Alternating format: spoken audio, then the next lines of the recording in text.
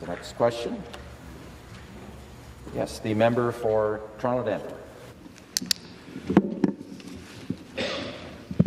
Thank you, Speaker. Speaker, my question to the Premier.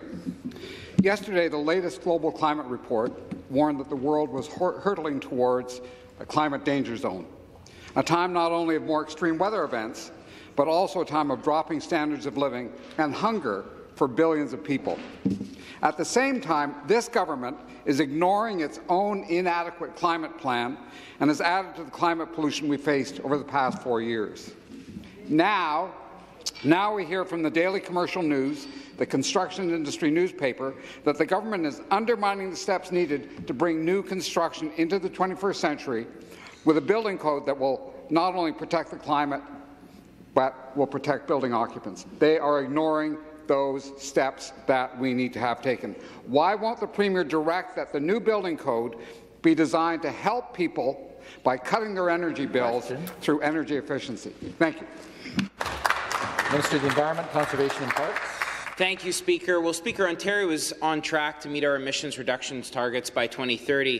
For the working families who work at General Motors on the forefront of the largest ever electrification of the automobile sector in Ontario's history, they know, thanks to the leadership of this minister, we'll get it done tackling the largest source of GHG emissions being the transportation sector. For the inspiring youth speaker I met, who participated in Ontario's first ever Youth Environment Council, who wanted us to embrace the circular economy, increasing the recycling of post-consumer goods, reducing the amount of harmful methane emissions in our landfills. They know we'll get it done for the many new workers in the trades working on the forefront of the cleanest steel transition in Canadian history, phasing out coal through the production of, uh, of steel through the electrification of the arc furnace, leading to 6 megatons of greenhouse gas emissions reductions, they know that we'll get it done.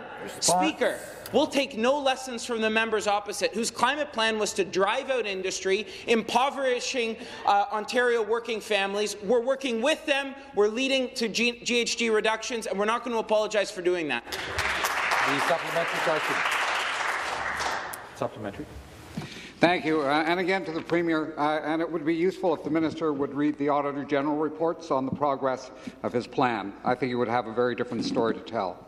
We know that the world where the we know that in a world where the climate is not stabilized, Ontario will face growing costs to deal with extreme weather. We're already spending $5 billion per year, and without action in the next few decades, we'll be spending $40 billion a year to deal with extreme weather impacts. Development of green building technology in Ontario and green building products would give us global advantage in selling products and services around the world. Development of substantially greener building stock could provide more highly paid and highly skilled jobs. And at the same time, we could save people money on energy costs for their homes and their businesses while reducing the risk they face Question. from the world getting hotter every day. Why won't the government protect Ontarians, protect our jobs, protect our future by bringing in a building code that substantially cuts energy use?